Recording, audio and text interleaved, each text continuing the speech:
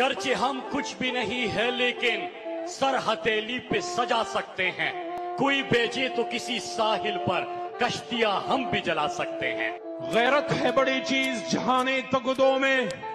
पहनाती है दरवेश को ताजे सरेदारा। पानी पानी कर गई मुझको कलंदर की ये बात। तू झुका जब गैर के आगे न मन तेरा न तन।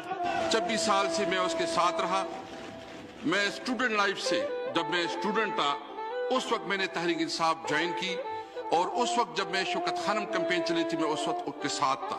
क्या पाकिस्तान के वज़ीर आज़म इमरान खान साहब का ये कसूर था कि उन्होंने आज़ाद खारजा पॉलिसी की बात की आज़ाद मीशत की बात की? क्या उन्होंने हमारे प्यारे नबी सल्लल्लाहु अलैहि वसल्लम की हुरमत की बात की?